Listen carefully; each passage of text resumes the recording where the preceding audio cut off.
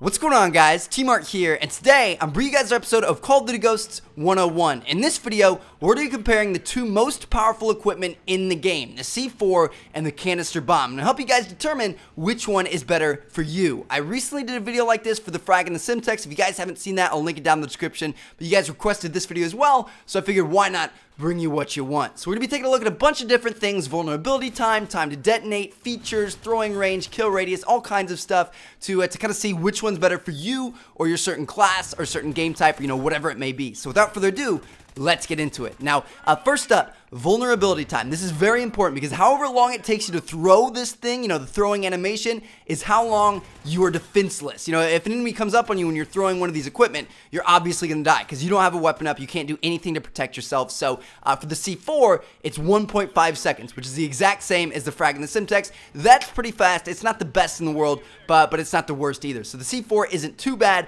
For the canister bomb, it's awful. It's 2.6 seconds from the point that when you press that button to throw this thing until when you can shoot again, which is very, very, very slow. That's a really long time in Call of Duty. Call of Duty is so fast paced, 2.6 seconds without being able to defend yourself is really not that good. So you really have to be careful with where you throw this thing and when you throw this thing to make sure you don't put yourself in a bad situation. Now, Next up, time to detonate. How long does it take for this thing to blow up and kill an enemy after you throw it? Well, for the C4, it can be any time you want. There's no limit, there's no timer, there's no nothing. You blow it up as quickly or as slowly as you want to, which is obviously very, very good. On the other side of things, for the canister bomb, it takes at least three seconds if you release it immediately. Uh, it's kind of like the Semtex in the fact you can hold it in your hand for as long as you want. So it takes it one second to get it up in your hand ready to throw, and then after you release it, it takes two seconds for it to blow up after you throw it. So uh, it depends on how long you hold it in your hand for how long it takes for the canister bomb to blow up. Now,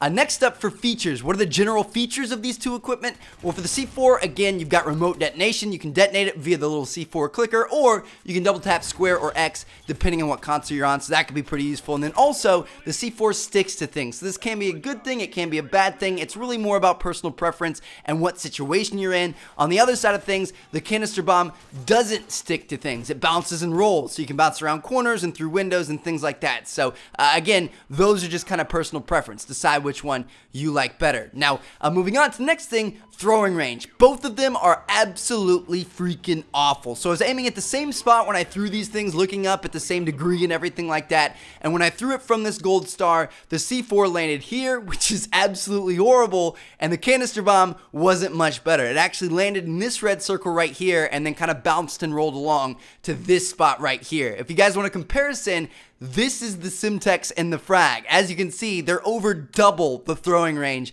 which is uh, which is really important. Like a lot of nade spots and stuff require you to throw these things pretty far. So keep that in mind when you're using the C4 and the canister bomb.